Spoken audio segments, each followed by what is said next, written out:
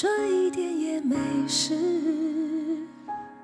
反正有没有痛才是爱的本质。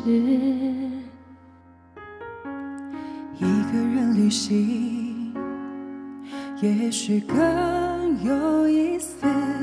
和他真正接触，才能重新开始。纪念贴心的，手两个字。你却严格只准自己哭一下子，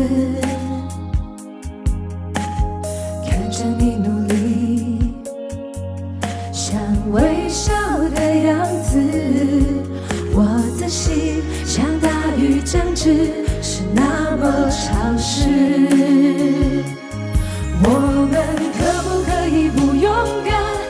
当伤太重，心太酸，无力承担。